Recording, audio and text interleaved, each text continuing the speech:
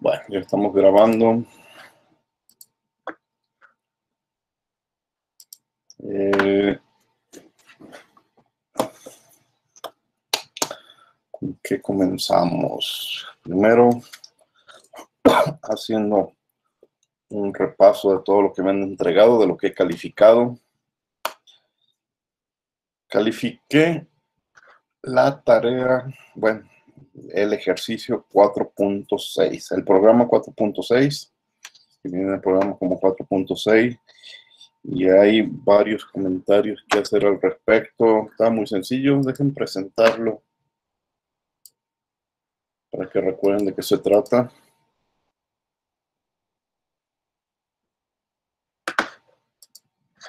Aquí estamos en Classroom. Y me refiero al 4.6. Bueno, el nuevo era un programa sencillo para calcular el área y el perímetro de un círculo. Este, y entre las instrucciones, pues estaba el que es, tendrías que teclear los, el radio, creo. Bien, detalles que quiero hacerles énfasis. No entreguen PDFs como producto de la actividad. Me tienen que entregar el programa. Si me entregan un PDF, si me entregan un archivo PDF, pues yo no lo puedo correr. Yo tendré que, si se puede, copiarlo, pegarlo y después correrlo. Es más, este, o, transcribirlo. Y pues eso, eso no lo voy a estar haciendo cada que reciba una una tarea de ustedes, me tienen que entregar el programa, el nombre del programa, punto pi, y entonces yo automáticamente ese programa lo corro y veo si funciona o no funciona.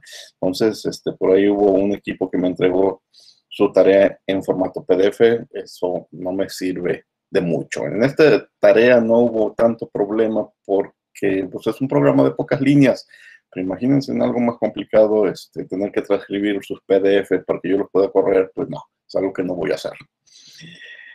El nombre de su tarea, el nombre de su actividad debe de incluir su clave y algún más, algún identificador de qué tarea se trata, ¿sí? Este, eso se los dije desde la semana pasada y a los que siguieron insistiendo en entregar el archivo sin anunciar su, clave, pues ya tuvieron una rebaja en esta, en esta tarea. Y el tercer detalle, hubo un programa, una tarea, ya, ya les comenté a los, a los compañeros involucrados, muy sofisticada. Ahorita van a ver en qué sentido digo muy sofisticada. Aguayo y Rubio andan por ahí.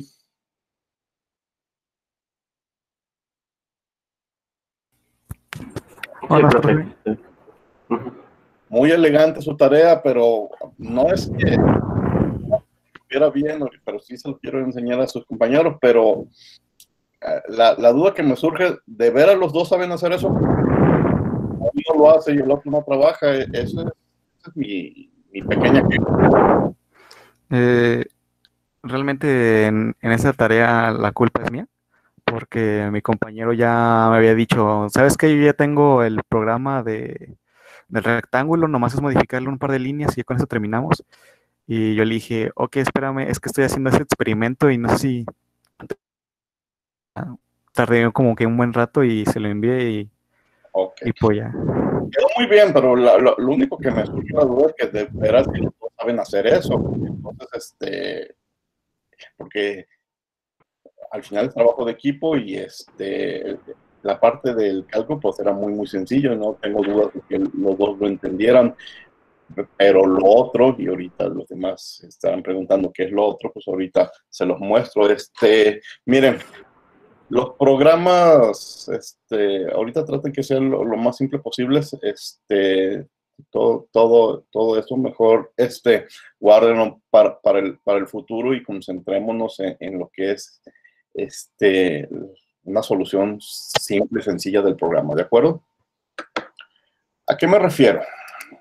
Hay una opción, este, Python tiene muchas opciones para darle presentaciones, por ejemplo, ustedes pueden subir su programa a una página de internet, a, un, este, a una página web y dar una buena presentación. Y es el uso, por cierto, ¿están viendo lo que sí estoy presentando? No, sí, sí estoy presentando.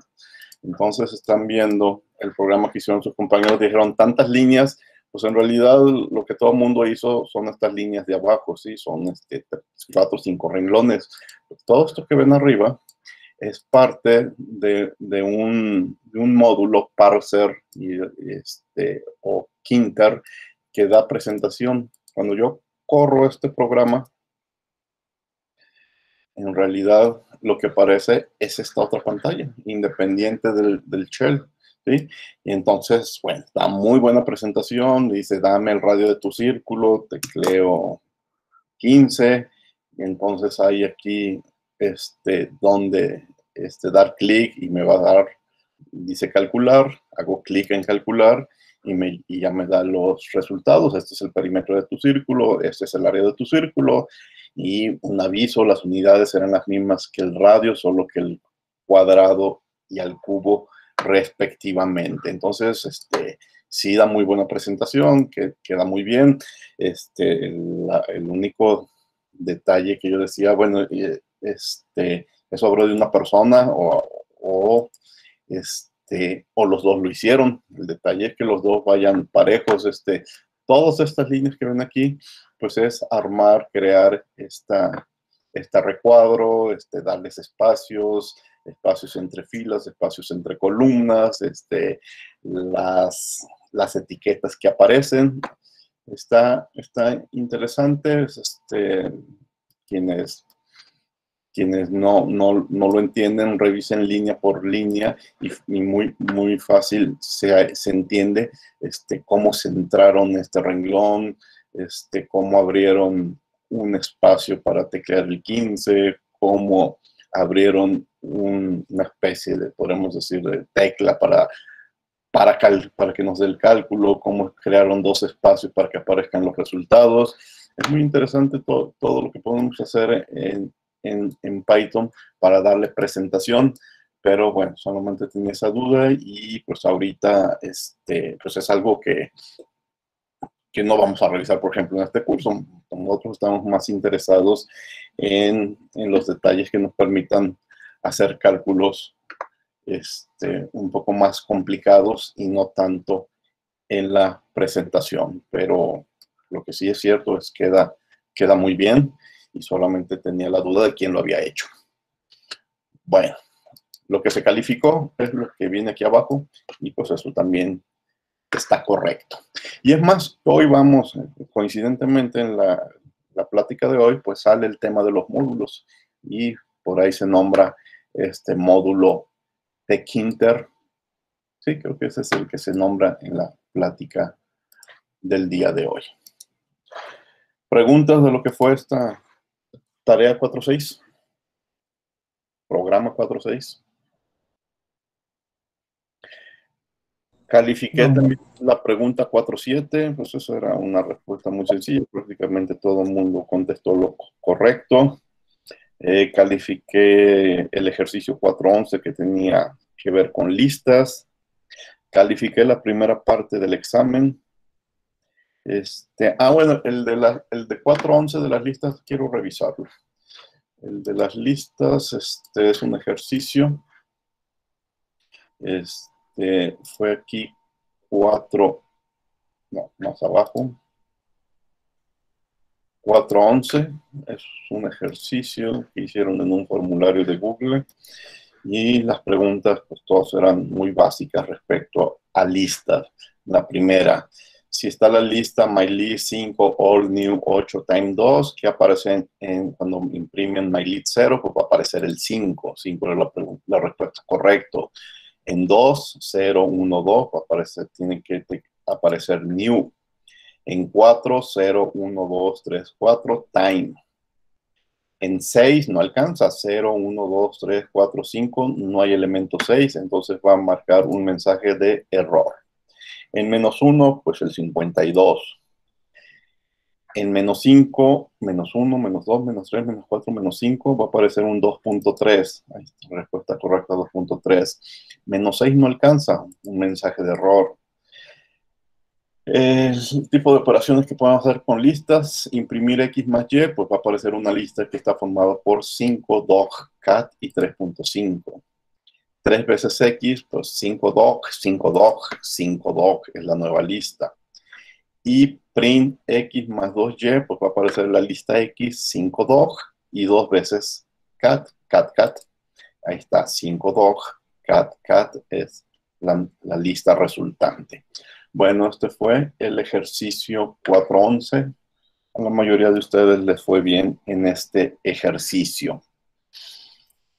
También califiqué, ya les debe haber llegado el resultado, la primera parte del examen. La segunda parte, pues la acaban de entregar algunos de ustedes. Este, ahí está, 31 entregados, 31 entregadas. 31 entregadas y 31 entregadas. Todo el mundo entregó. Y la primera parte, pues también fueron 31 entregadas y ya están evaluadas las 31. ¿Qué tipo de preguntas había?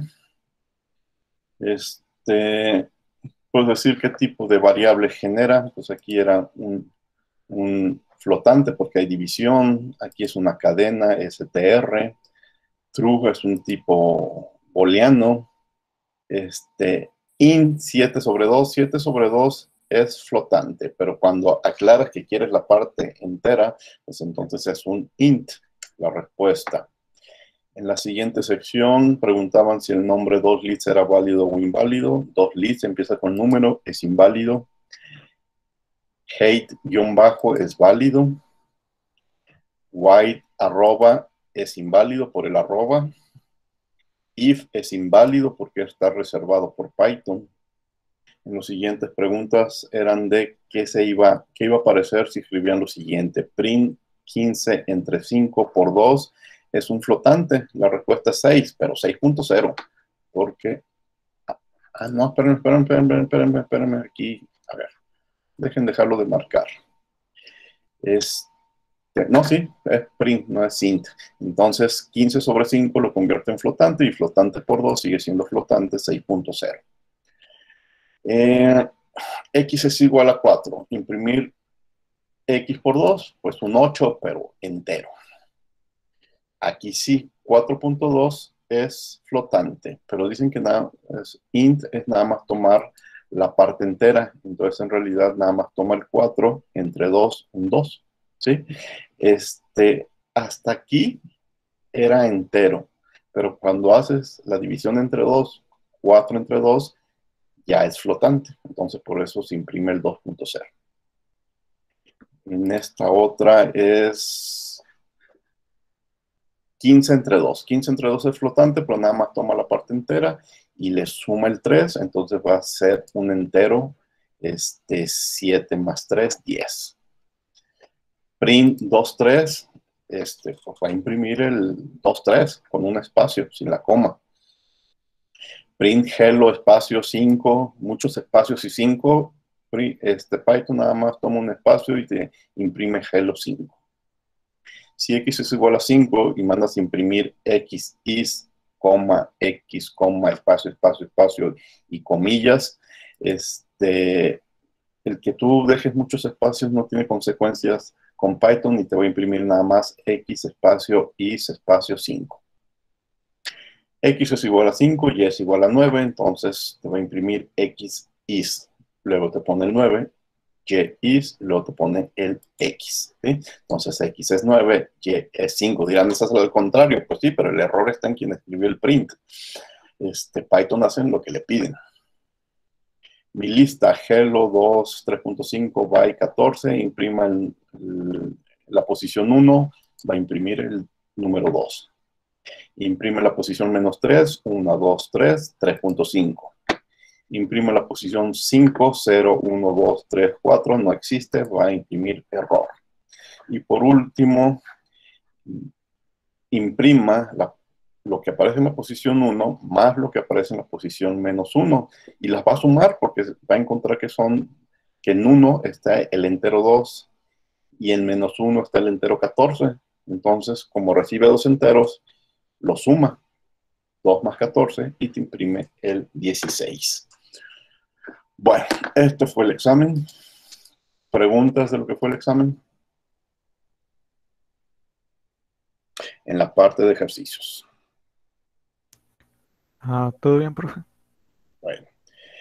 En la parte de programas, pues los acabo de recibir, no, no los he revisado. Eso lo platicamos la próxima, la próxima clase.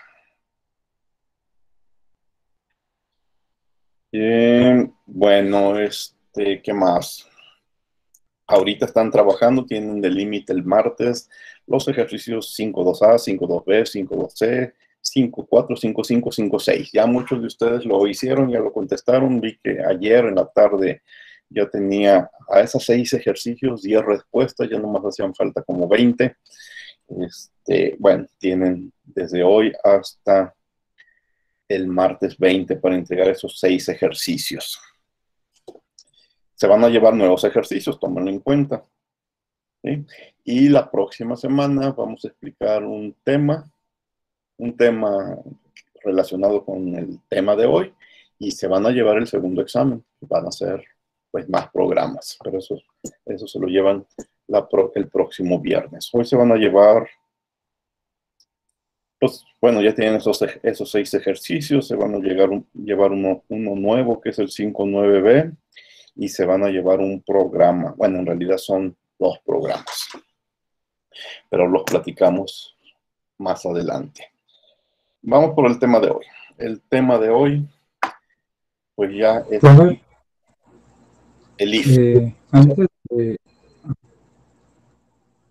¿Le puedo hacer una pregunta? Sí, dime. Este, de las listas, eh, la multiplicación de las listas por, por los enteros eh, que repitiera los, los elementos de la lista se me hizo un poco curioso, eh, aunque fuesen valores enteros multiplicándose por un entero. ¿Por qué no más repite y no hace la multiplicación? ¿Por qué lo repite? Porque no son... Ah, porque porque este, está combinando enteros con cadenas, ¿sí? Entonces no puede multiplicar.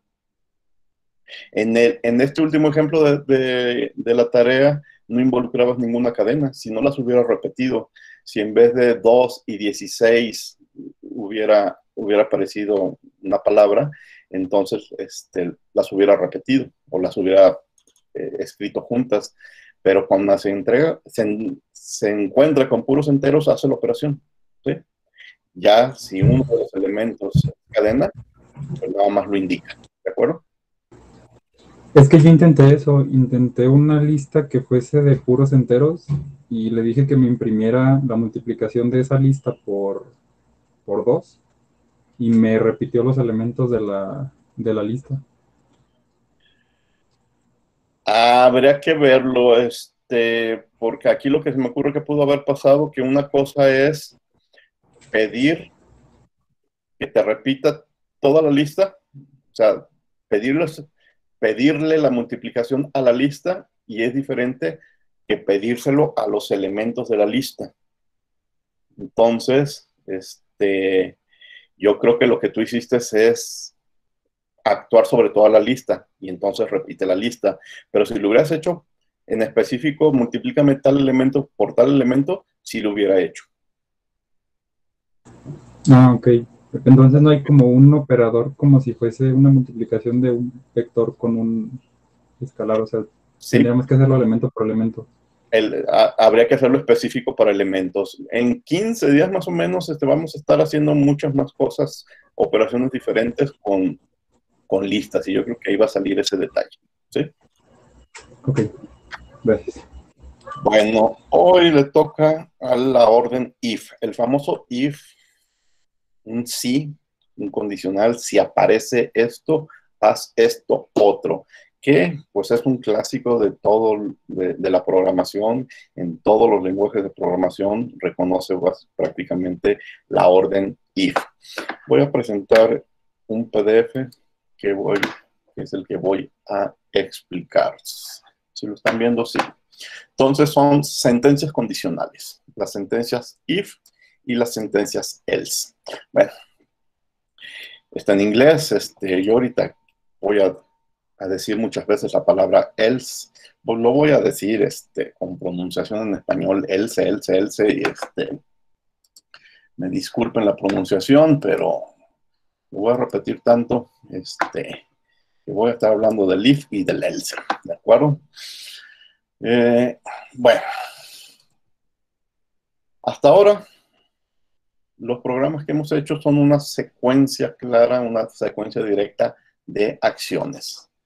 Te piden un dato, le asignas valores con input, efectúa los cálculos, este, guardas el resultado utilizando asignaciones y muestras en pantalla el resultado. Input, pedir datos, hacer las operaciones y imprimir los resultados, pero una secuencia directa de acciones. Haz esto, enseguida el paso 2, enseguida el paso 3 y se acabó.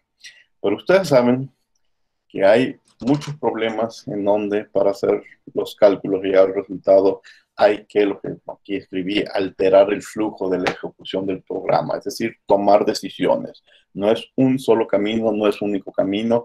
A partir de los datos podemos tomar decisiones o el programa va a tomar decisiones de por qué el camino se va, ¿sí?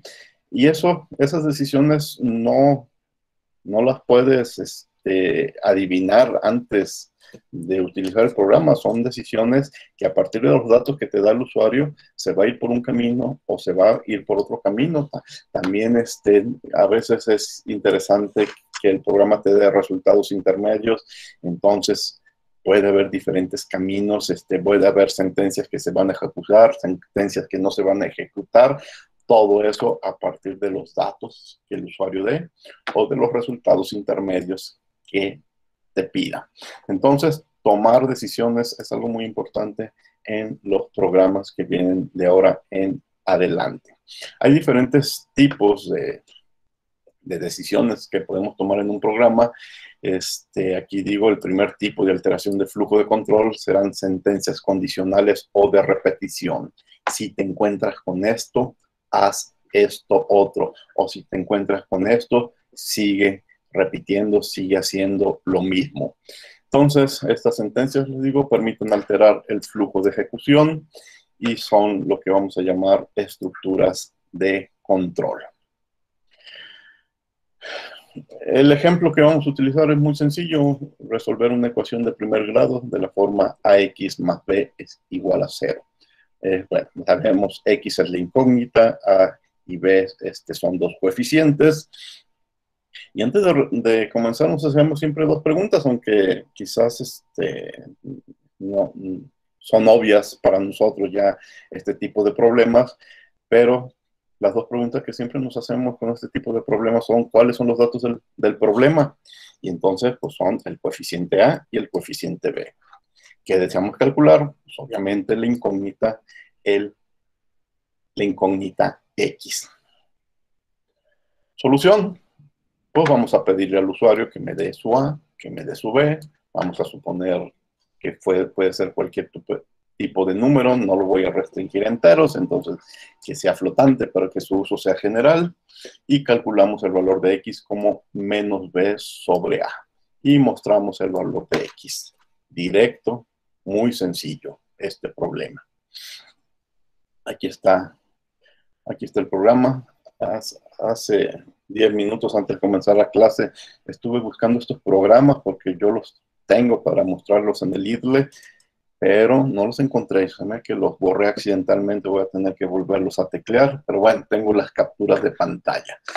Digo, es un programa para resolución de la ecuación x más ax más b es igual a 0. Te pide el valor de a, te pide el valor de b, sustituye b, sustituye a, y la máquina ya sabe cuánto vale x. Enseguida le pido que me imprima con una leyenda que dice solución y me imprime el valor de x. Y aquí están diferentes este, diferentes ejemplos, 2 y 3, ah, bueno, aquí no sé qué pasó, 2 y 3 y me da el menos 1.5, 56 y 43 y me da el menos .076. Lo hice con enteros. Este, ah, los dos los hago con enteros, pues el resultado es flotante porque hay una división. Aquí no hay más que un camino, el camino directo. Pero ¿cuál es el punto débil de este programa? Este programa tiene un detalle. ¿Qué tal si el usuario teclea un cero? ¿Sí? Si dice que A vale cero, pues esto es lo que va a suceder. Si el usuario teclea 0 y teclea 5, la computadora va a decir, bueno, yo me encontré con una división por cero, no sé qué hacer, y te mando un mensaje de error. Una de las chambas del programador es evitar los errores. ¿sí? O si tú ya sabes que una de las posibilidades es error en cero, pues evita que la máquina te lo, te lo diga y mejor este, dale una opción para si ya sabes que lo que acaba de teclear va, va, a generar una división entre cero, pues es mucho más elegante que tu programa avise, ¿sabes qué? Me estás, uno, me estás, me estás forzando a hacer una división entre cero, entonces mejor te lo aviso antes de que de caer en el error, ¿sí? Entonces, porque bueno, el error detiene abruptamente la ejecución del programa. Imagínense que este no fuera el programa que nos interesa, sino que estos son cuatro renglones de un programa que en realidad son mil, mil renglones. Y cuando llega a estos cuatro, te marca el error. Pues te corta el resto, no va a seguir buscando en los cientos de renglones, no va a seguir avanzando en los cientos de renglones que siguen abajo. Te va a cortar el programa. Entonces, mejor saquémosle la vuelta al error y y que el programador considere la posibilidad de ese error y siga el programa en los cientos de líneas que hay más adelante. ¿Sí? Aquí lo digo. Si al escribir el programa hemos previsto una solución para todo posible error de ejecución, debemos de tomar el control de la situación en todo momento. El detalle es que los mensajes de error te cortan la ejecución del programa. Dirán, aquí pues era todo lo que hacía, cuatro renglones muy simples. Sí, pero piensen en esta operación como parte de algo más grande que al final eran cientos de líneas. Y aquí es donde aparecen como opción los condicionales if y else. La estructura de control if va a permitir que el programa ejecute unas instrucciones cuando se cumple una condición si, nos encontramos con cierta condición, vamos a irnos por este camino. Si no, vamos a seguir otro camino. Esto lo podemos enriquecer con la condición else. Si aparece if y else, permite que el programa ejecute unas instrucciones cuando se cumple una condición y otras cuando no se cumplen si la respuesta al if es sí, se va, con, se va a cumplir una condición, pero si no, se va, a se va a cumplir otra condición, otras instrucciones. Recuerden, el if es sí, el else significa si no. Si, si tu condición se cumple, te vas por un camino. Si tu condición no se cumple, te vas por otro camino. En Python, ¿cómo se escribe? Bueno, antes de cómo se escribe en Python, estos son los diagramas de flujo. Este, inicias, avanzas en tu programa y te encuentras con la condición. Si la condición se cumple, vas a, lo que, a las instrucciones que encontrés en este bloque. Si no, terminas. Si no, termina tu programa o sigues con, las, con otras líneas. En el if, if else, si es un sí, pues se ejecuta las con las instrucciones del bloque 1. Pero si te encuentras con el else o se cumple el else, que es falso para el if, vas a ejecutar las instrucciones del bloque 2. Y ya sea que ejecutes las del 1 o la del 2, pues seguirás tu camino o terminarás tu programa. Pero bueno, ahora sí, bien, regresando a Python, hay una forma de escribirlos. Bueno, Tienes que escribir la palabra if y una condición. O sea, no puede ir la palabra if sola porque no tendría sentido. Tiene que ir acompañada de una condición. Y cuando termines de escribir la condición, muy importante, nomenclatura de Python, terminarla con dos puntos. En los siguientes renglones van las órdenes que se ejecutan. Es decir, if termina con dos puntos y luego van las órdenes. If, condición, dos puntos, y aquí tecleas la primera orden, y aquí tecleas la segunda orden, o cuántos renglones se deben de cumplir de acuerdo a la condición que aquí estableciste. Entonces, si el resultado es verdadero, se ejecuta el bloque de sentencias. Si el resultado es falso, te vas por otro camino y no ejecutas ese bloque de sentencias. Pero muy importante, en nomenclatura Python, dos puntos al final de una línea. Si vamos a utilizar la condición if-else, entonces escribes if, escribes tu condición, dos puntos y todas las órdenes de, de la condición que sí se cumple. Si no se cumple esa condición, entonces else te va a indicar qué es lo que debes de hacer. Else, dos puntos, de nuevo, nomenclatura, dos puntos, las condiciones si el resultado es falso. Vamos viéndolo con un ejemplo. En este ejemplo dice, número, número es este, el, nombre de lo que vamos a leer de lo que vas a teclear, donde se va a guardar lo que vas a teclear. Int, un entero, y te va a aparecer en, la pantalla, escribe un número positivo. Y entonces vas a escribir un número positivo. Menos 5, escribió el usuario. Al usuario le dijeron que escribiera un número positivo, pero el usuario va a teclear lo que le dé la gana. Ah, si el número que tecleó el usuario es menor que cero, entonces la computadora le va a decir, te he dicho, le he dicho que escribo un número positivo. Y entonces si no escribiste un número menor a cero, entonces se brinca el if y, te va a decir, ha escrito el número el que hayas escrito. Bueno, aquí no está el resto, no están impresas el resto de las, de las, de las condiciones, de los renglones, pero después del menos 5 iba a aparecer la, el renglón de le he dicho que escribo un número positivo. Si hubiera tecleado 5, entonces directamente le aparece usted ha escrito el número y aparecería el 5. ¿Cómo podemos reescribir esto con el... Ah, bueno, este es, lo mismo. Si escribes el 5, te va a decir que has escrito el número 5. Otro ejemplo con el else. El programa te pregunta cuántos años tiene. ¿sí? Y tecleas 17, 5, 35, lo que quieras. Bueno, si tecleas 17, el programa tiene dos caminos. Si lo que tecleas es menor a 18, te va a responder, es usted un menor de edad. Si no, cualquier otra opción, cualquier otra opción es mayor a 18, te va a te va a aparecer un mensaje de usted es mayor de edad. Y al final a ambos les aparece el mensaje hasta la próxima. ¿sí? Entonces hay dos caminos.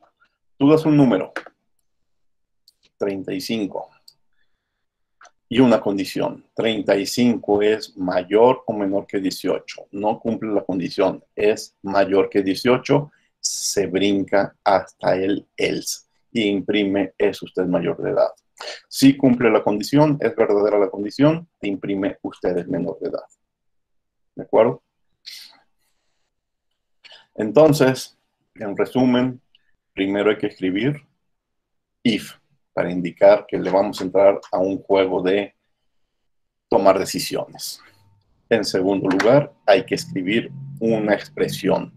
Si que, if que, pues tú escribes si sucede esto, si sucede esto, aquello. Y en Python hay que acompañarlo de dos puntos para que esté correctamente escrito. Si 4 es mayor que 5, dos puntos. ¿Qué sigue? Lo que hay que hacer. Si 4 es mayor que 5, hay que hacer algo. Si no, hay que hacer otra cosa.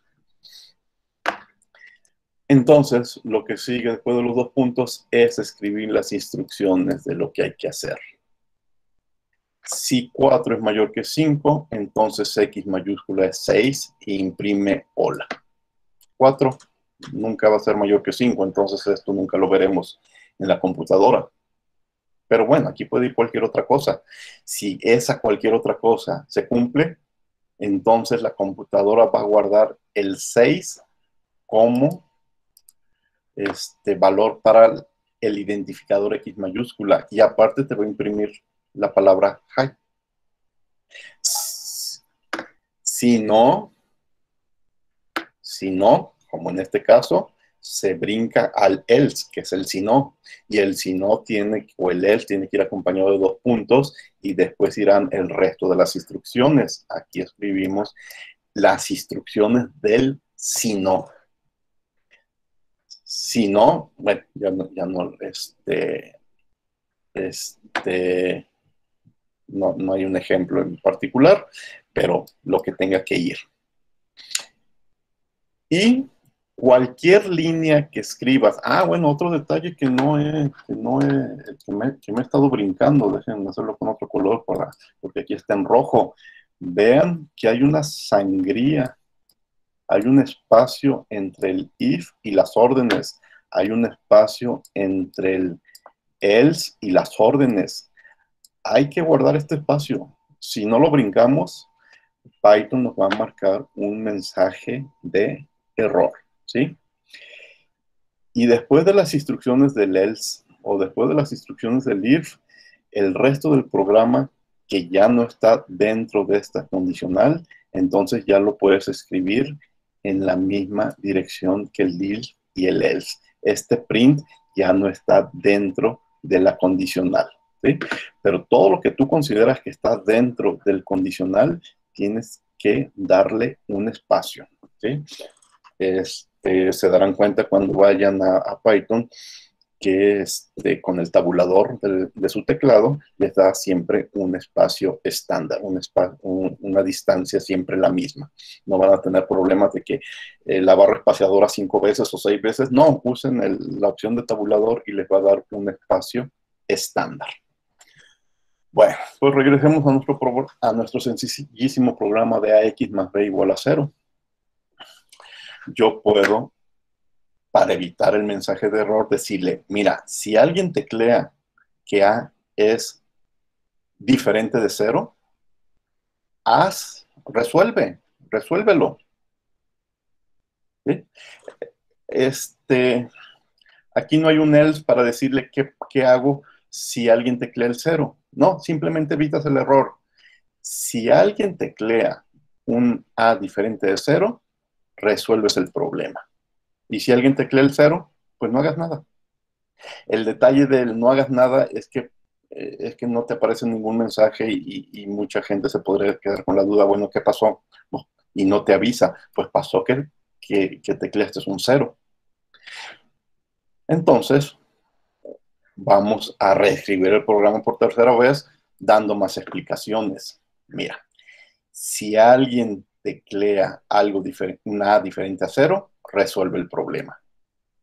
Y si alguien teclea cero, avísale. La ecuación no tiene solución. ¿Eh?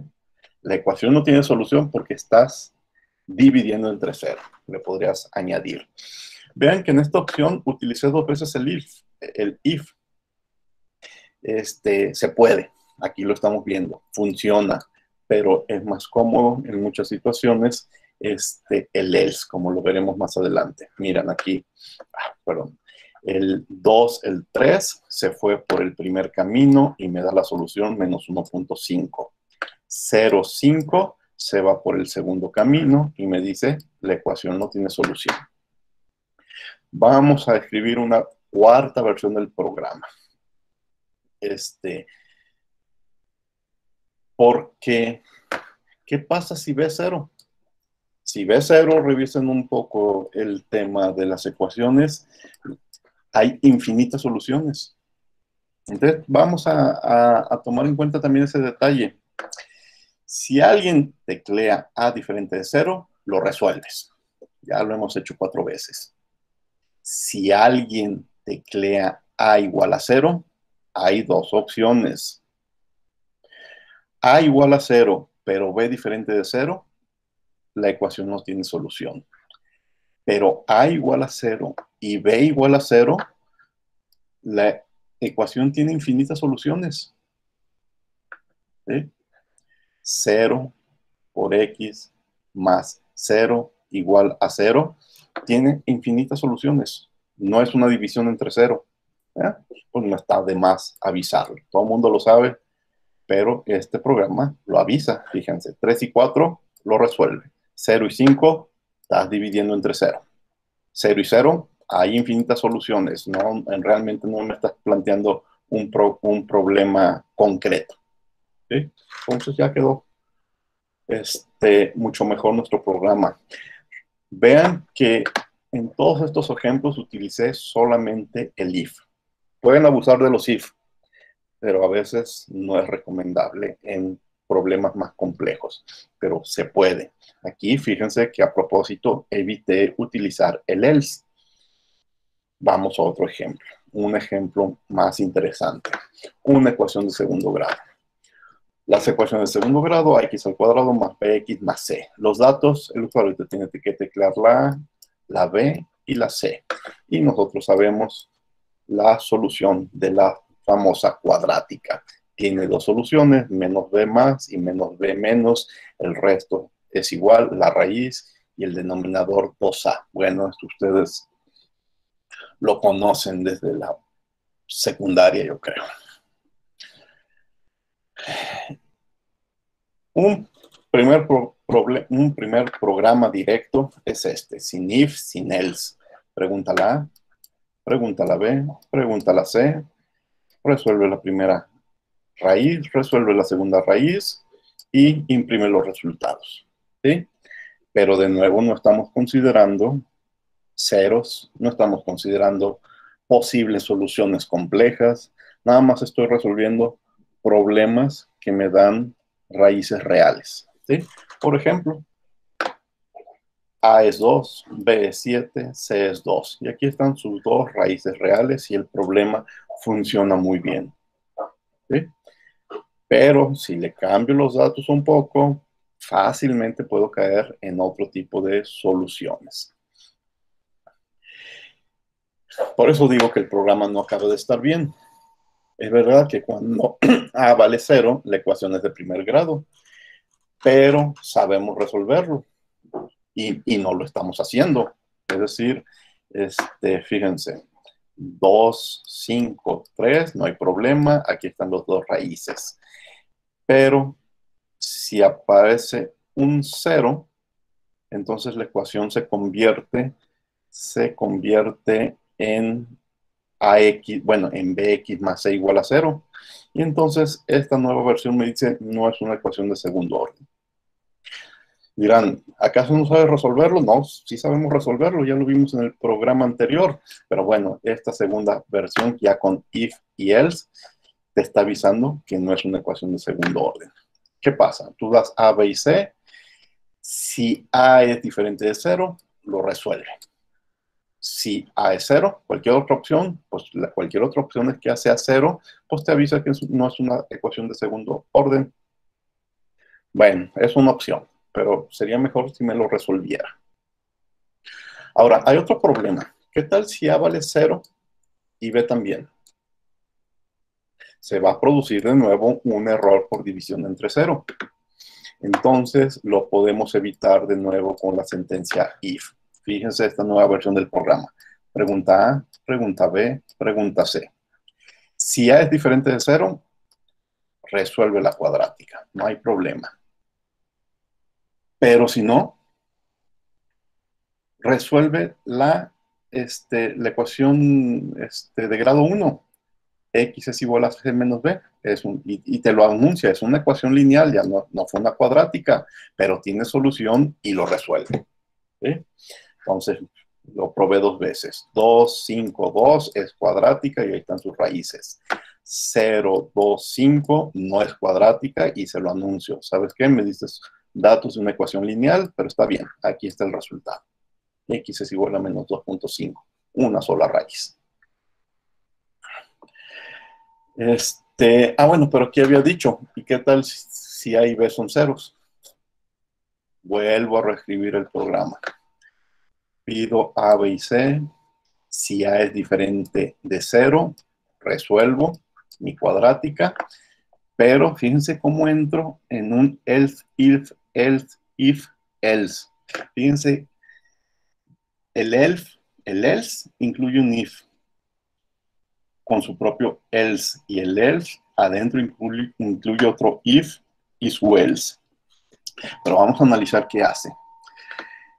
Si B es diferente de cero, pero A fue cero, porque fíjense que la primera parte decía A es diferente de cero, si es diferente de cero. Else, el else entre, entre paréntesis no lo escribimos, está ¿qué pasa si A es, diferente, es igual a cero? Si A es, si A es cero, hay diferentes opciones. Que A sea cero y B es diferente de cero o que A sea cero, pero también B, B sea cero. Bueno, si A es cero y B es diferente de cero, es la ecuación lineal que resolvimos hace un momento y la resuelve. Pero si los dos son cero, este else implica A es igual a cero, pero también B es igual a cero. Entonces, ahí falta eh, preguntarnos qué pasa con C. Si C es, diferente de cero, la ecuación no tiene solución. Pero si también C es cero, la ecuación tiene infinitas soluciones.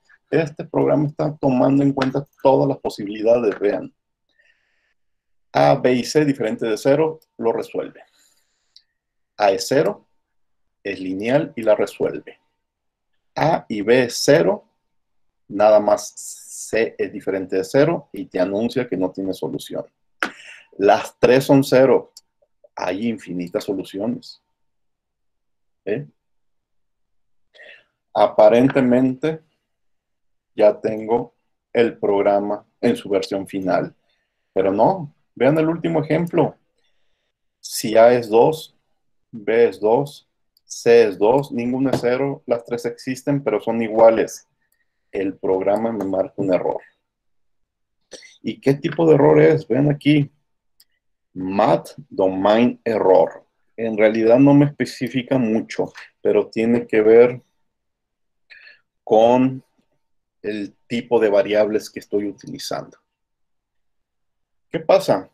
Ustedes saben que esta opción, esta posibilidad tiene una solución compleja. Nuestro programa iba muy bien, muy bonito, pero nunca pensamos en las soluciones complejas. Ahí está, un recordatorio de las soluciones complejas. Si la raíz b cuadrado menos 4ac la llamo delta, que en matemáticas dicen es el discriminante, este, tengo tres posibles soluciones. Esto es matemáticas, matemáticas puras. Si el discriminante es mayor que cero, las dos raíces son reales. Si el discriminante es cero, entonces la raíz, una raíz vale cero y solo existe una solución real. ¿sí? Pero si el discriminante, este es el caso interesante, es menor que cero, las dos raíces son complejas. Y además una es el conjugado del otro. Entonces, no he tomado en cuenta la posibilidad de que en este problema hay raíces complejas. Python no me va a dar estos detalles. Esto yo lo, debería de saber por matemáticas. Python nada más me dice un value error. Es decir, es un error este, de variables, no cuadran y no lo va a resolver. ¿Cómo le sacamos la vuelta al error? Ahorita no lo voy a resolver. Primero le voy a sacar la vuelta. Este, pedimos valores, resolvemos si, si tenemos, este, si son raíces reales, resolvemos si es ecuación lineal, aviso, si no tiene solución, aviso si tiene soluciones infinitas Y esta es el extra de mi problema. Si yo sé que hay posibilidad de un error de este tipo, del value error, fíjense, me regreso. Aquí me dice qué tipo de error tuve, value error. Entonces, si yo sé que en mi problema hay ese tipo de, hay posibilidad de ese tipo de error, con estos par de renglones yo me lo brinco, le digo, Python, si te encuentras con ese error, bríncatelo y mándame un aviso. Y el aviso que le pido es que me recuerde que la ecuación tiene solución compleja. Entonces vean, 2, 2, 2, y con esta este, orden except, se brinca el error y me dice, ¿sabes qué? No puedo seguir porque tu ecuación tiene solución compleja. Y ya queda ahora sí muy bien nuestro, bueno, no, ya queda mucho mejor mi, programa. Yo lo que quisiera es un programa que me resuelva también este, raíces complejas. Este, bueno, antes de, de seguir con ese tema, excepciones comunes, ¿sí? Fíjense que aquí utilicé la palabra except. Entonces, este, diferentes tipos de error. Hay errores que son name error, type error, value error, no implement error, zero division error, file not found error. Son diferentes tipos de errores que me genera Python y yo y si yo sé que hay posibilidad de que aparezcan, me los puedo brincar. Name error son excepciones que aparecen cuando el programa no puede encontrar un nombre local o global. Type error, cuando la función se le pasa un objeto del tipo inapropiado como su argumento. Value error es la función no es del tipo correcto, que es lo que nos pasó. División entre cero, ya la habíamos visto. No found error es el archivo no existe. Ah, bueno, me brinqué uno. No implement error este, bueno, cuando la operación no ha sido implementada aún. Este, bueno, esto, esto es más raro. ¿sí? Entonces, nosotros nos podemos brincar los errores este, si sabemos que se pueden presentar. Ahora, este, todo esto de, de cómo brincarnos los errores, ahorita también este, lo paso rápido. Pero yo quisiera que mi programa calculara raíces complejas. Ustedes saben cómo hacerlo. Tomaron cursos de matemáticas, yo sé, y saben cómo a mano resolver esa ecuación y presentar las raíces este, complejas. No lo vamos a ver en, detalle, es más, incluso me da idea para una tarea o para un examen. Este, pero ahorita voy a presentar una forma muy, muy sencilla este, de resolver esos problemas. Recuerden que para resolver la ecuación cuadrática necesito resolver raíces cuadradas y para raíces cuadradas, por usar la orden SQRT, necesito llamar un módulo y es un módulo que platiqué en las primeras clases, que es el módulo MAT. Por, ejemplo, por cierto, ¿lo, ¿lo hemos estado utilizando?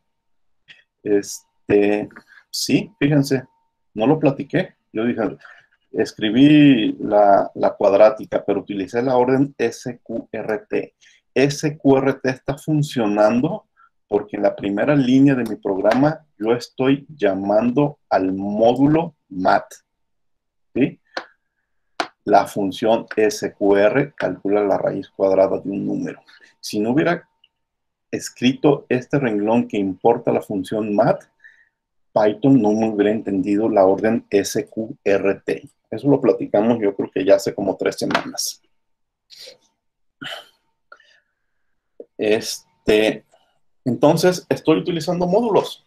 ¿Qué es un módulo? Un módulo es lo que comenté hace un momento que hicieron sus compañeros. Utilizaron un módulo para darle una muy buena presentación a su tarea. Los módulos son ficheros que contienen definiciones que se pueden importar en otros scripts para reutilizar sus funcionalidades. A ver, vamos a ver un video que dura menos de dos minutos este, para explicar rápidamente qué es un módulo. Pero antes de eso, antes de eso, ya he hablado un montón. ¿Hay preguntas? Sí, eh, eso que hizo de extraer solo la función de la raíz cuadrada, cuando lo hace así de from mat import sqrt, nomás, o sea, nomás va a reconocer eso. Es que a nosotros cuando usted nos enseñó, se declarábamos toda la, la biblioteca y esas funciones las usábamos como punto, punto, punto algo, punto más o algo así, para que funcionasen bien. Sí, hay opciones de, de, escribir un renglón y te reconozca cualquier orden, o hay lo que hice aquí de que nada más, este, como no más voy a utilizar ese QRT, nada más me reconozca ese QRT. Pero sí hay opciones para que lo escriba y me reconozca cualquier orden, o sea, cualquier función matemática como cosenos, este, tangentes, etcétera. Ok, entonces lo que hizo nos limita solamente a lo que queremos usar, no, no vamos a poder usar cualquier otra. Sí, sí, pero, pero creo que, que, que, sí vimos cómo escribirlo en, en, esa clase que les digo de hace tres o cuatro semanas, de, de, cómo llamarla y utilizar cualquier orden, ¿sí? Y si ustedes en internet escriben este módulo mat de Python, pues les aparecen páginas en donde les recuerdan todas las operaciones que pueden hacer. ¿Sí? Ok. Profe. Sí. Eh, en el primer ejemplo que vimos con if, en el que te decía, pon un, te dije que pusieras un número positivo, para que le des como reintentos al, al usuario, tienes que hacer un ciclo. Para que el usuario este, corrija. Sí, por ejemplo, el usuario pone menos dos, le mandas el mensaje que dice, te dije que pusieras un nuevo negativo y que vuelva a poder poner el input y, y regresar al if, ¿tenemos que hacer un ciclo o ahí cómo funcionaría? Sí, tendrías que hacer un ciclo. En el programa que yo les mostré, simplemente te regaña y se acaba, ¿sí? Pero tu idea, que está este, más interesante, es te regaña y te lo vuelve a preguntar, ¿sabes qué? Te equivocaste y entonces este, vuelves a lanzar la pregunta. Sí, es posible. Este, ya tomaste una decisión y en el camino de la decisión equivocada puedes volver a hacer la pregunta y continuar con, con, con el programa. Sí, eso está interesante. ¿Alguna otra pregunta? Bueno, vamos a ver este video, es este, dos minutos nada más. No voy a poder correr. Ah, aquí del PDF no voy a poder llamarlo, permítanme. Dejen copiarlo y pegarlo.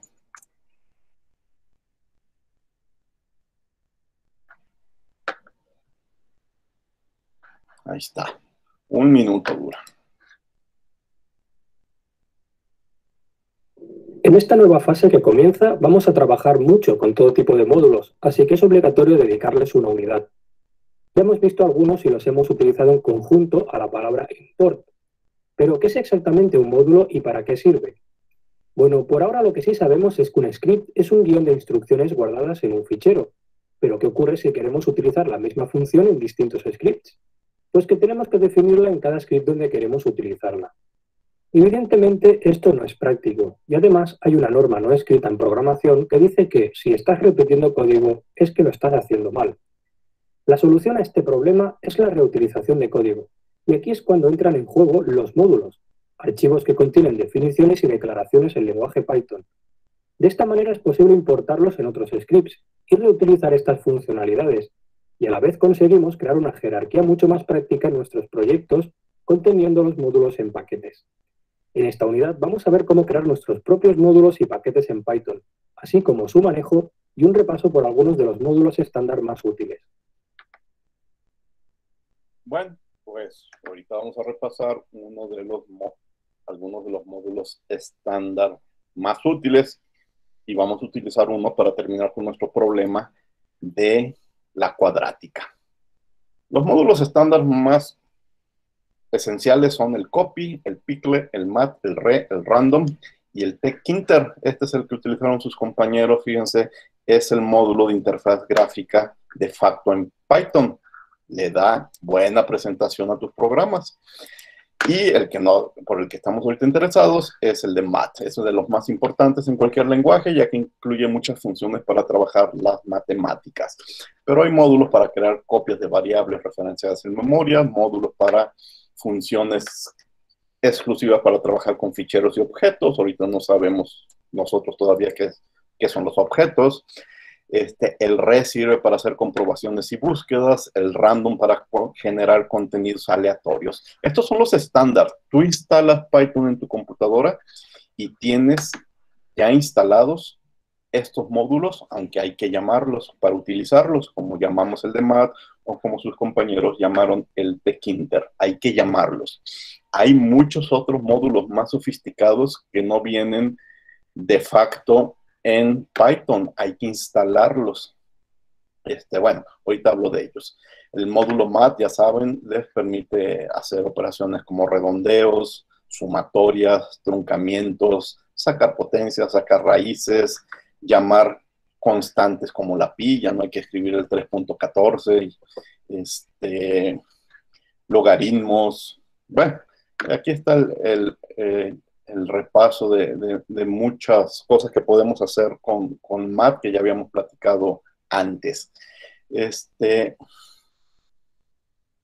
eh, MAT es un módulo básico que va incluido con la instalación de Python, es lo que les decía, pero no todos los módulos, aquí me equivoqué de palabra, escribí modelos, debería haber escrito módulos, no todos los módulos son básicos. El que nos interesa ahorita es un módulo de los más populares, que es el NumPy. Pero eso hay que buscarlo y hay que instalarlo. Es gratuito.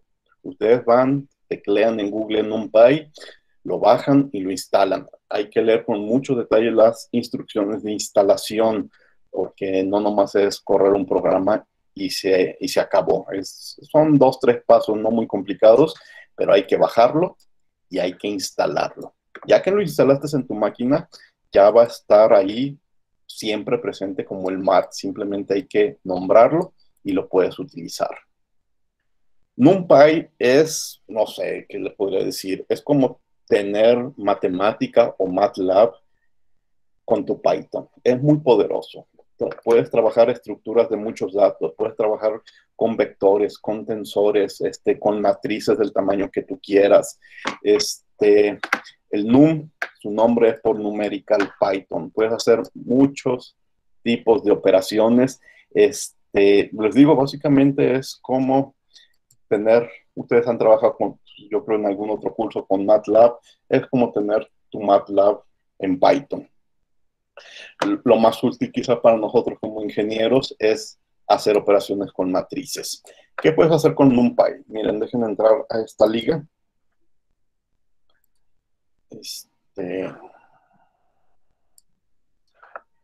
voy a poder entrar, creo que no.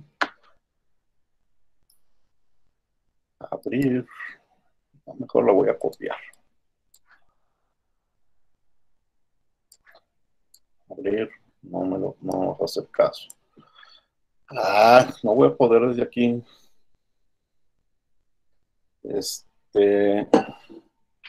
De modo, la voy a teclear. Este lector de PDFs.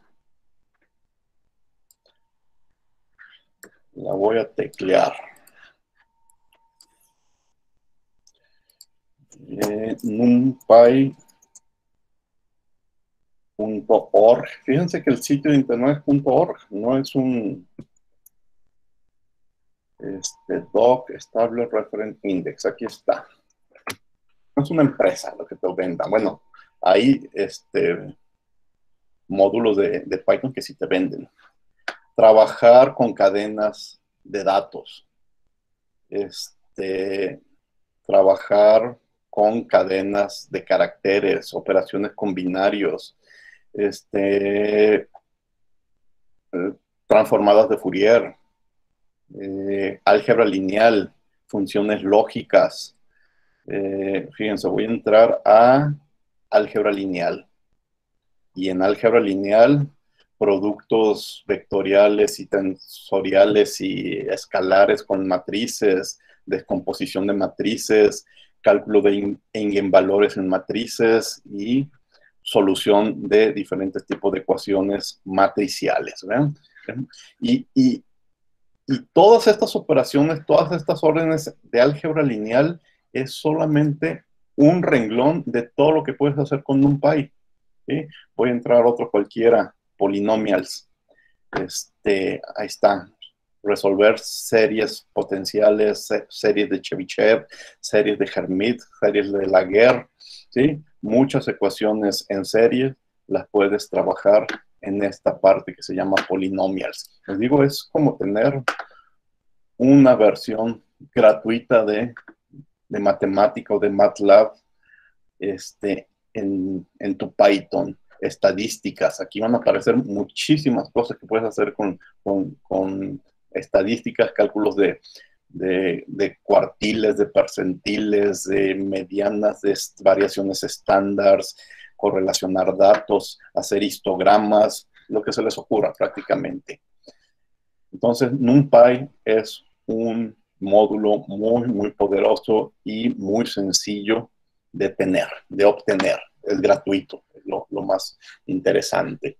Este, aquí tengo otro sitio de internet que les recomiendo. Este PDF lo tienen en, en Classroom, entonces este, dejen escribir numpy.org estable. Dejen cambiarle aquí. User, diagonal, absolute,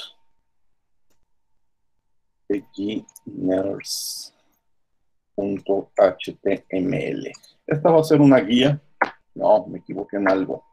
numpy.org doc stable ref. Ah, no, el referencia no va. Este. User Ahora sí.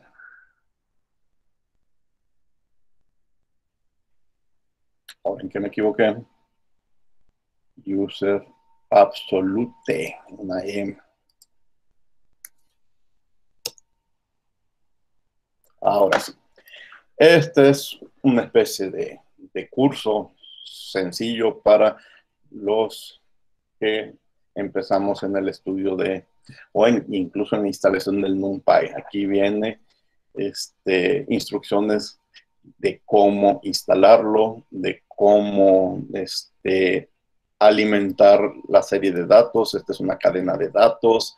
Este, bueno, ahí revísenlo, es mucha información, cómo hacer operaciones básicas con grupos de datos, este, cómo crear matrices, y pues más adelante va a venir cómo hacer multiplicaciones, sumas, sacar inversas de una matriz. Este, aquí viene lo básico del NumPy, pensándolo este, para quienes quieren usar matrices y para quienes quieren hacer estadísticas. Este, incluso fíjense qué hay que hacer para ver gráficas bidimensionales o tridimensionales. Entonces, si les interesa el tema, les dejo estas, este, estas ligas. Bueno. Eh, como parte de este curso, yo no les voy a exigir que instalen un PY, nunca les voy a dejar una tarea. Este, bueno, eh, no sé si, si, al final, pero solo, solo en, el último tema, no sé si regresemos a, si el, si el tiempo nos da para regresar al NumPy, pero en, lo inmediato, alguna tarea, algún examen, algún programa, este, no, no les voy a pedir este, que, utilicen el, el, NumPy, pero sí se lo recomiendo que lo instalen, es gratuito. Este, inténtenlo hacer en sus casas esta semana. Si tienen preguntas, este, no puedo, que este, algún consejo, pregúntenmelo por, pero en el chat por separado, ¿sí? No le voy a dedicar tiempo aquí los viernes, pero sí háganme las preguntas que quieran de, de la instalación de NumPy en, en, el chat, ¿sí? Y con gusto les trataré de contestar. Fíjense, voy a regresar a mi programa de cuadráticas utilizando NumPy. ¿Se acuerdan que ya llevábamos un, un programa como de 30 renglones? Es más, vamos a verlo llevábamos un programa y no nos calculaba las complejas de 2, 1, 2, 3, 4, 5, 6, 7, 8, 9, 10, 11, 12, 14, 16, 18, 20, 22 renglones llevábamos, ¿sí? Y no nos calculaba raíces complejas. Pues ahora con NumPy, 3, 6, 7 renglones. Primer renglón, pedir que aparezca NumPy. Fíjate, import NumPy. Con eso es suficiente. ¿Por qué escribo ASNP? Porque muchas veces al escribir voy a tener que escribir NumPy muchas veces, ¿sí? Entonces, para no escribir NumPy y no se haga más largo, nada más con escribir NP, el programa entiende que estoy llamando a NumPy. Bien. Le pido al usuario la A, le pido al usuario la B, le pido al usuario la C y se acabó. Le digo a NumPy. Los coeficientes de la ecuación son A, B y C. Los A, B y C que me acaban de teclear son los coeficientes. Calcúlame las raíces de la ecuación. Y se acabó en dos renglones. Uno para un renglón para decirle cuáles son los coeficientes y otro renglón para decirle que me dé las raíces. Y las raíces las guarda en este identificador roots y se acabó. Fíjense, 1, 2 y 3 y me da las dos raíces complejas. 2, 10 y 2 y me da las dos raíces reales. Este, dejen rayar. Eh, 005. Bueno, aquí me dice, aquí sí, este, quizás me convenga traerme alguno de los renglones de mi programa anterior para recordarles si, si me va a, decir que, que es división entre cero o tiene este, infinitas soluciones. ¿sí? Quizás eh, ahí sí vale la pena añadirle algunos renglones. Pero 0, 5 y 7, si es lineal, me da el valor de x. Si es lineal, si es cuadrática con raíces reales, si es cuadrática con raíces imaginarias, en dos renglones. Es lo que les decía, es como tener MATLAB en mi computadora. Este, y bueno, esto podría ser una pequeña parte de algo más complejo y no necesito que escribir tanto. Al final, algo que dijo el video es muy interesante. Una de las reglas de oro de la programación es no escribir de más, no repetir lo que ya está hecho.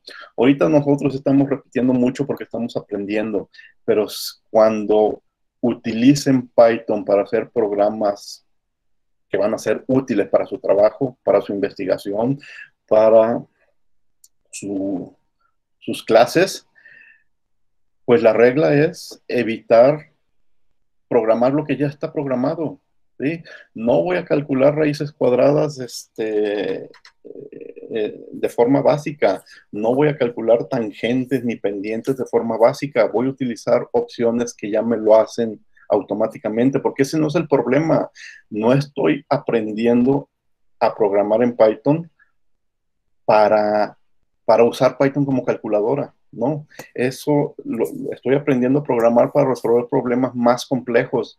Entonces, las raíces cuadradas, los exponenciales, los logaritmos, este, es algo que ya está resuelto y no hay que dedicarle muchos renglones. Pues lo mismo digo de la cuadrática la cuadrática ya está resuelta y ya en, cuestiones útiles de trabajo, pues no vale la pena todo lo que estamos haciendo arriba. Lo estamos haciendo en este curso porque estamos aprendiendo, estamos aprendiendo Python, entonces hay que hacerlo para aprender. Pero estoy seguro que los ciclos van a ser importantes para ustedes por otras razones, no porque quieren resolver una cuadrática. Aquí la cuadrática es simplemente el pretexto. Y entonces, ahí están los renglones para evitar estos corchetes, ¿sí? Ya por fin va la versión final. Le pido los tres valores al usuario, voy a Python, y si cabe la posibilidad de que no tenga solución, aquí está. Si cabe la posibilidad de que tenga soluciones infinitas, aquí está. Y ahora sí está completo. Este, dos raíces reales, dos raíces complejas, ecuación lineal, no hay solución o hay infinitas soluciones. Y ahora sí, por fin tengo mi problema completo con el uso del if, if y con el uso del else. Este, ya casi acabamos. Eh, un solo detalle que guarden en mente. Aquí utilicé un if, un else, un if, un else, un if, un else. utilicé tres veces el conjunto if-else. Vamos a, más arriba. Aquí lo utilicé una, dos, tres también y tres veces. Aquí también lo estuve utilizando tres veces. Este, no sé si, hay, si hubiera un programa un poquito más complejo, podríamos estar utilizando el if y el elf 5, 6, 7 veces y entonces el programa se nos está moviendo hacia la derecha cada vez más. ¿Cómo evitar eso? Hay una opción para que mis programas no se alarguen tanto hacia la derecha, porque vean, vean cómo este, con, la, con el detalle de que hay que guardar una un espacio, una sangría, este, mis programas están haciendo hacia la derecha, mis instrucciones, si hay una opción. Y la opción es, con lo que vamos a empezar la próxima clase, la instrucción elif. Es decir, en un solo renglón voy a escribir E de else, el de else y if de if. ¿sí? Entonces, puedo compactar mi if y mi else con un el if. Y eso, con eso iniciamos la clase del próximo, de la próxima semana. También para que vayan este, eh, revisando el tema del if y el if, lo vayan madurando y entonces la próxima clase lo repetimos bajo el pretexto de presentar el, el if. ¿Preguntas? Perdí dónde está Mita, aquí está. Ahora sí hablé mucho. Revisen, por favor, cada una de las versiones del programa de la ecuación lineal y de la ecuación cuadrática, programa, versión tras versión, para que vean los arreglos, las mejoras que le, que le vamos haciendo. Escríbanlos.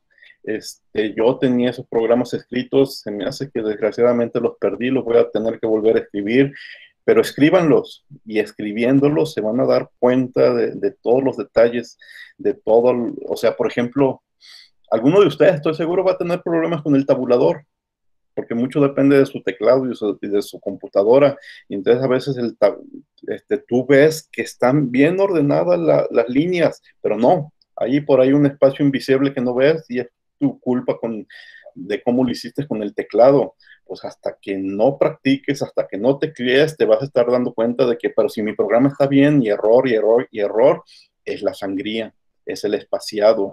Si se equivocan en el espaciado, si lo hacen mal, este, les va a estar marcando errores. Dirán, ¿y cómo evito hacerlo mal? No les puedo dar muchos consejos porque mucho depende de su computadora, de su editor de texto, hasta de su teclado. Entonces, hasta que no estén tecleando, se van a estar encontrando con esos errores. ¿De acuerdo? Al principio se les va a olvidar mucho teclear el dos puntos, por ejemplo. También, si no hay dos puntos después del elif y la sentencia, después del else, no funciona el programa. Y a veces este, Python no te da muchos detalles de, de dónde te equivocaste. Simplemente te dice que está mal. Y ahí tú le estás dando vueltas y vueltas. ¿Y qué es lo que no ves? Pues unos simples dos puntos es lo que no ves. ¿De acuerdo? Preguntas.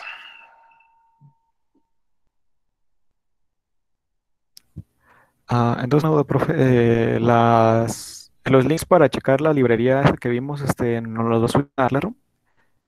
Mm, se, se, entrecortó mucho tu voz, no, no entendí. Ah, disculpe, es que si los links del módulo que vimos ahorita los va a subir a Classroom. Ah, sí, sí, sí. Este, okay de Room y aquí en estamos en el capítulo 5, operadores y condicionales. En particular estamos aquí en 5.7. Y este, ah, mira, aquí están mis programas. ya nomás está. Les digo, los estuve buscando en la computadora y no los encontré por, ya vi lo que pasó. Los subí a Classroom y no hice copia. Ah, aquí están todos los programas que yo hice de la cuadrática, por favor, revísenlos. Este, bueno, vean qué tontería de mi parte es este, borrarlos de la computadora y nada más dejarlos en Classroom. y haberlos pasado a Classroom, pero bueno, por lo menos no los perdí. Yo pensé que ya iba a tener que teclear todo de nuevo. Miren, este PDF es el PDF que acabo de revisar. Y entonces ahí vienen las ligas a, NumPy para que lo revisen. ¿sí? Y estas, estos tres son los programas de la lineal, de la cuadrática sin NumPy y de la cuadrática con NumPy. ¿De acuerdo? Este, refinamientos sucesivos. Esto de refinamientos sucesivos lo dejo para el próximo viernes. Es, este, nada más una serie de consejos. Se llevan dos tareas. Esta 5-9A y son, esta es ejercicio, esto es personal. Es decir, ya saben, van a ir a, van a ir a, a esta a esta forma de, Google y van a contestar unas preguntas.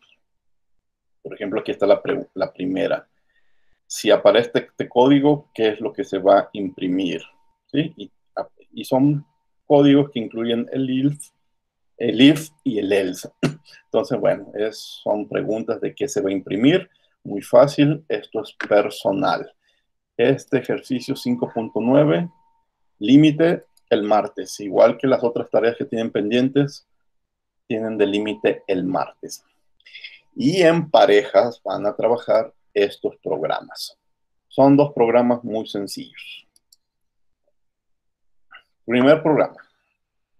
Escriba un programa, eso es lo más grande. Escriba un programa que le pida al usuario que escriba una cadena. Y entonces el programa va a imprimir la palabra sí si en lo que ustedes teclearon aparece la palabra perro. Si en lo que ustedes teclearon no aparece la palabra perro, el programa tiene que imprimir no. Así de fácil. Ustedes pueden, este, el programa le va a decir, a ver, dime una frase. Y ustedes van a escribir este, la frase que quieran. Estoy escribiendo un programa que me pide teclear un número. Enter pues el programa va a aparecer inmediatamente dos, porque en la frase que acabo de decir no aparece la palabra perro. O puedo teclear perros y gatos. Y entonces me va a decir sí, ¿por qué? Sí detectó la palabra perro. ¿De acuerdo? Así de fácil. Hay dos opciones, sí o no. Va a revisar una cadena y va a ver si aparece la palabra perro en esa cadena. El segundo problema, el segundo programa le va a pedir al usuario que teclee un número entero. 8. Y entonces va a imprimir si, si ese número es divisible por 3. O va a imprimir no si no lo es. El 8 no es divisible por 3, entonces tiene que generar como salida el no. Si el usuario teclea este 12, entonces tiene que aparecer un sí, porque el 12 sí es divisible por 3. Entonces, la decisión que el programa tiene que tomar es si el número que tecleó el usuario es divisible por 3 o no. Y acá la decisión que tiene que tomar el programa es si en la cadena que le acaban de mostrar aparece la palabra perro. Es un if y es un else, así de fácil. Pero tienen que ver cómo detectar la palabra perro en la frase que escribieron y cómo detectar que el número que escribieron es divisible por 3, porque yo puedo teclear 5, 4, 8, 9, 2, 4, 6, 7, 0, enter. Ese número que me acabo de inventar es divisible por 3, ustedes lo tienen que calcular. ¿De acuerdo? ¿Preguntas de ese par de programas? El límite para subir ese programa es el jueves. Tienen hasta el jueves de de la próxima semana a medianoche. Son dos programas, ¿sí? Los pueden subir, bueno, tienen que subir los dos archivos, recuerden, tiene que, el nombre del programa tiene que incluir la clave de su equipo, de su pareja y algún, y algo que me diga que uno es para la del perro y otro es para la del divisible. ¿De acuerdo? ¿Preguntas? Eh, sí, una. Este, cuando nos explicó lo del except, Este, ¿Se le ocurre alguna otra aplicación que no sea decirle nosotros que es el error? O sea, que, tuvo un error de, eso que sea un, o sea, que le pongamos un print. no, es, exclusivo para excepciones si las excepciones están relacionadas con los errores. Ahí lo que hay que revisar es este, quizás aquí nomás les mostré los tipos básicos de errores que te, marca Python, pero hay diferentes, hay más tipos de errores que te marcan, este, bueno, ya son cuestiones quizás más especializadas, este, pero si tu programa te marca algún tipo de error, siempre que se te prenda el foco de quizás utilizar la opción except para evitarlo, ¿sí? Pero es nada más para sacarle la vuelta a errores. Es la única utilidad que tiene. O sea que si el error no es, o sea, no, no es necesario o no rompe como que todo el código, nomás se lo brinca y sigue las siguientes, sigue las siguientes líneas. Sí, eso es lo que hace. Sí, en el ejemplo que les mostré no había siguientes líneas, pero en, una situación real puede que, que, hay este, más líneas y entonces se brinca el error y sigue, y sigue leyendo el programa. Ah, ok. Puede que el brincarte el error tenga consecuencias con lo que sigue, pero puede que no. Entonces, este, no te corta el programa y sigue leyendo las líneas de abajo. Esa es la utilidad, este, lo, más valioso, que sigue leyendo el programa. Ok. ¿Sí? gracias. ¿Alguna otra pregunta? Bueno, ya por último, eh, si revisan Classroom, la clase anterior se me había olvidado subir los temas extras del capítulo 4.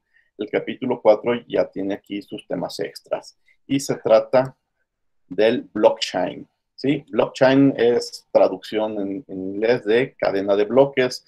Este, y cadena de bloques es una estructura de datos y tiene muchas aplicaciones en computación, en, lo que también muchas veces por ahí escuchamos que la minería de datos. Bueno, este video, este par de videos, uno de 5 minutos y otro de 8 minutos, nos explican qué es y cómo usar el blockchain. Y este es un sitio web que en texto, una lectura también muy sencilla de entender, te explica qué es el blockchain. Entonces, blockchain es el tema extra del capítulo 4. Pero hoy ya estamos en el capítulo 5, casi terminando el capítulo 5. Y el tema extra del capítulo 5 es el Internet de las Cosas. Este también yo creo que ustedes mucho han escuchado de que, de que ahora, bueno, el Internet va más allá de tus computadoras, controla tu casa, controla tu lugar de trabajo, que es el Internet de las Cosas. Les estoy subiendo dos videos y dos lecturas. Este, un video de 12 minutos, que es un reportaje de, de un noticiero alemán, este, la Deutsche Welle, este, que es el Internet de las Cosas, está muy interesante, y una plática de las, de las conferencias TED de un experto, Fernando Checa, que habla del Internet de las cosas. Dice que, bueno, hoy lo novedoso es el Internet de las personas, pero pues ese día lo invitaron a hablar del Internet de las cosas y a eso se dedica. Y aquí dos archivos, este, qué es y cómo funciona el Internet de las Cosas y qué es el Internet de las Cosas de dos sitios diferentes. Muy interesante también el tema de el Internet de las Cosas. Este, les digo, ya casi estamos terminando el capítulo 5. Nada más dejé pendiente eh, 5.8, refinamientos sucesivos, que son consejos para hacer más simples tus programas y el ELIF. Y el ELIF va, a ir acompañado de unos ejercicios. Bien, el próximo viernes platico los refinamientos sucesivos, platico el ELIF y les dejo su segundo examen. El segundo examen está centrado en, el IF, ELSE y el IF. ¿sí? De nuevo, la, la primera parte van a ser este, ejercicios, preguntas personales y la 2, 3, 4 y 5 van a ser programas. Pero el segundo examen le interesa mucho que, no quede dudas en el uso del if y el elif. Después de eso vamos a entrar a otro tipo de ciclos. Este, el while y el for. El while es mientras estén tan, tales condiciones, haz esto. Y de tal valor a tal valor, haz esto otro. Son ciclos while y ciclos for.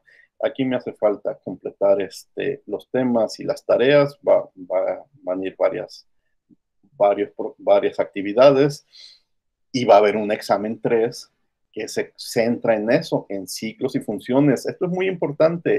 El if, el else, el elif, el while y el for. Es la parte central del, del curso. Ya después del while y del for, regresaremos a las listas y vamos a practicar el, el if, el while y el for con listas, ¿sí? Porque, les repito, usarlo como calculadora para calcular este, ecuaciones cuadráticas o hacer, hacer cálculos trigonométricos, pues eso ya casi lo estamos completando con estos temas, ¿no?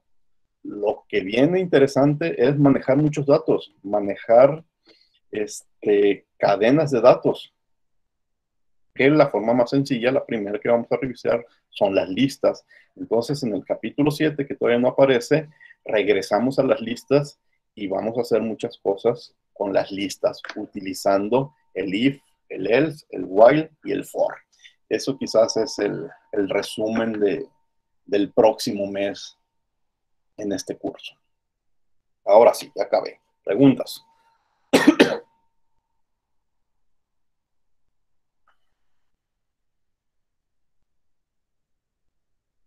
Nada, todo bien. Todo bien, profe. Bien, este, subieron sus exámenes en archivos.py, ¿verdad? No hubo PDFs.